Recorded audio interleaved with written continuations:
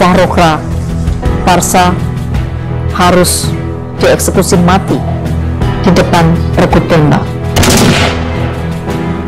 Dia dituduh sebagai penyihir, menyeret Hypatia ke gereja. Dalam suatu medan perang di lembah Parito, Ratu Saleha terkepung pasukan Belanda.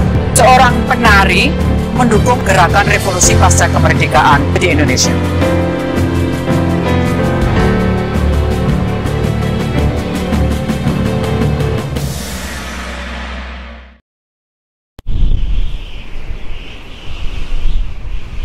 Perempuan dari Iran ditangkap oleh kelompok pro revolusi Iran.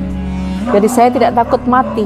Saya siap menerima kematian dengan tangan terbuka daripada hidup dipaksa harus memakai hijab.